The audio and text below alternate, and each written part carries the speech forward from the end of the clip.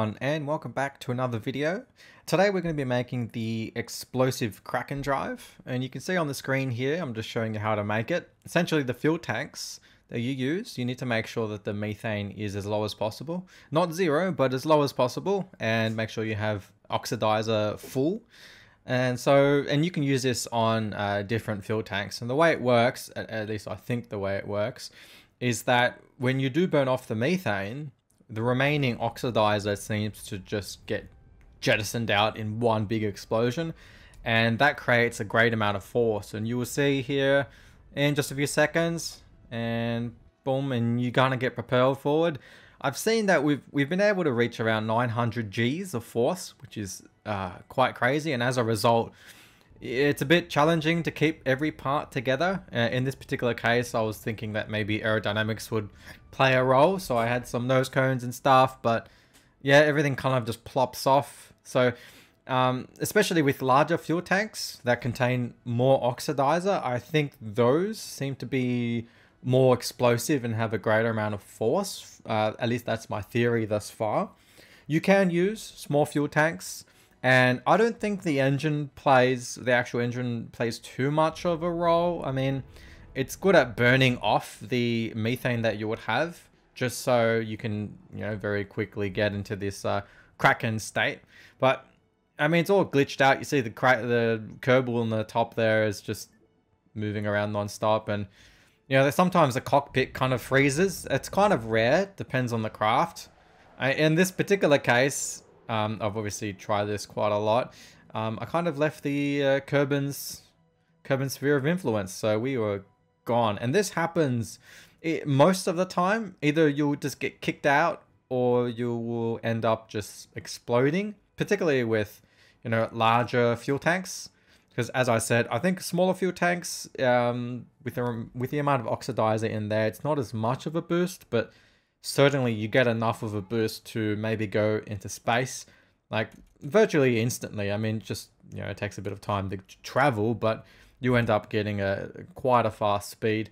And in this particular case, um, I ended up going like super close to the sun in just literally one shot. That's all it took, and uh, I think we're so close that the uh, the game gets a bit glitched out. But you'll see here, uh, the map view is just a bit confused. Yeah, I'm. I don't think I went into the sun at that point, but it's pretty damn close. So and, and super bright.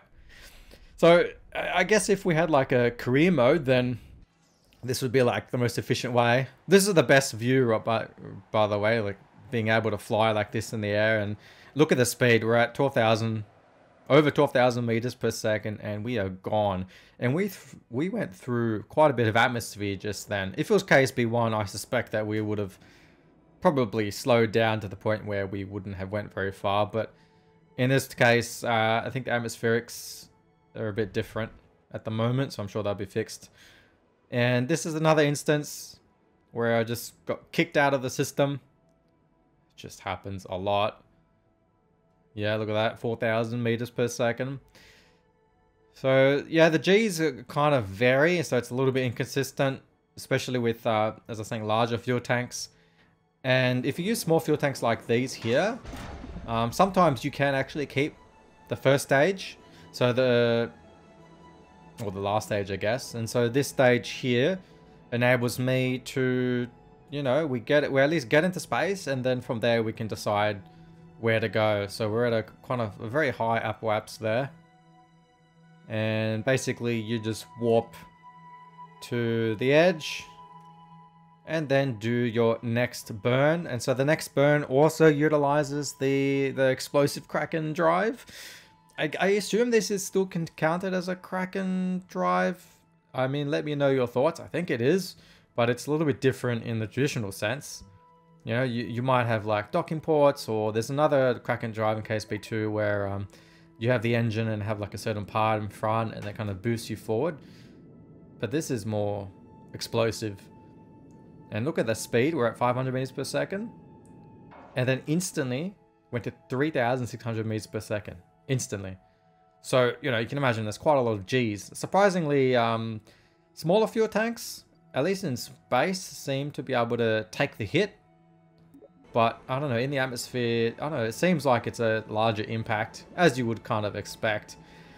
And in this footage here, this is probably one of my best attempts actually.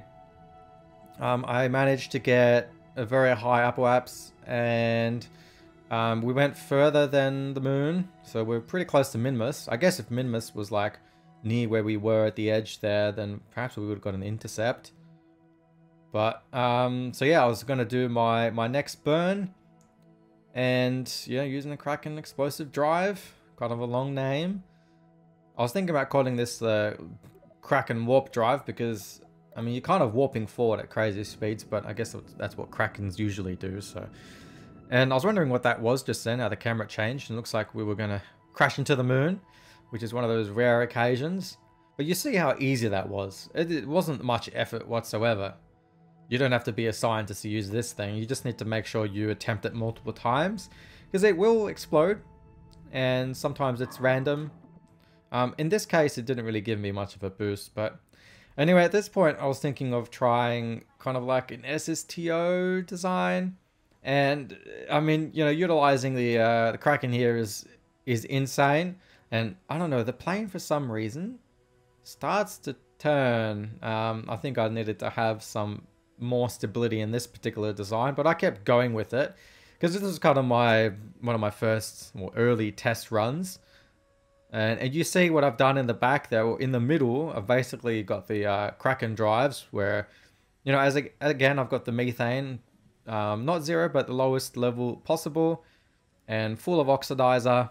And you when it kind of boosts you forward, the whole the whole structure of the plane just shakes and it, it can shatter. So it's very dangerous, as you can see there. Uh, I do recall having struts, but maybe that was on a second design. I don't think struts are going to last long with that kind of impact. So it's it's difficult to harness. There are, obviously, as I said, there was another um, Kraken drive that's a bit easier, or a lot easier to control than this thing. And here is my final attempt of the uh, SSTO. So it's not the best. I decided to put a few more engines in there just for a boost. And I've got massive, I've got those large fuel tanks in there with a lot of oxidizer to just to give that, just to give us a big boost and see how it goes. But unfortunately, it's a bit too powerful. So anyway, I'm going to uh, probably share this on the uh, bug page in the KSP forums. And I'll share one of the uh, the first designs of this thing in the description. You can make it yourself with any fuel tank and engine, I believe. So but give it a go. Hope you enjoy. And see you next time.